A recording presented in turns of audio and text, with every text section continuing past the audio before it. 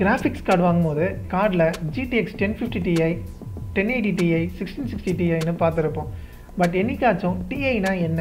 DI and non DI கார்ட்ஸ்க்கு என்ன டிஃப்ரென்ஸ்னு ஒரு நாளாச்சும் திங்க் பண்ணியிருப்போம் ஆக்சுவலாக டிஐனா டைட்டானியம் டைட்டானியம் ஒரு கெமிக்கல் எலமெண்ட் அதோட சிம்பிள் தான் ஷார்ட்டாக டிஐன்னு சொல்கிறாங்க ஜென்ரலாக சொல்லணும்னா டிஐ நார்மல் ஜிபியோட ஒரு பவர்ஃபுல் வெர்ஷன் கிராஃபிக்ஸ்லேயும் சரி அதோட பர்ஃபார்மன்ஸ்லேயும் சரி டிஐ என்விடியா கிராஃபிக்ஸ் கார்டில் யூஸ் பண்ணுவாங்க.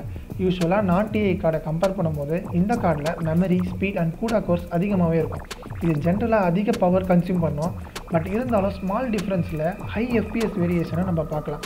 மேக்ஸ்ட் அவுட் செட்டிங்ஸில் தௌசண்ட் எயிட்டி பியில் கேம் ப்ளே பண்ணலாம். ஸோ ஃபைனலாக டிஐனா extra performance low and Ti கார்ட்ஸில் amount லெஸ்ஸாக போட்டு டீசெண்டான எஃபிஎஸில் ஆடலாம். ஹை அண்ட் டிஐ காசில் அதிகமான மணி போட்டு ஒரு பவர்ஃபுல் கேமிங் பிசியே உருவாக்கலாம். காசுலாம் எனக்கு பிரச்சனை இல்லை. நான் ஒரு ஹார்ட் கோர் பிசி கேமர்னால் டிஐ கிராஃபிக்ஸ் கார்டு தான் உங்கள் பெஸ்ட் இன்வெஸ்ட்மெண்ட்டாக இருக்கும்.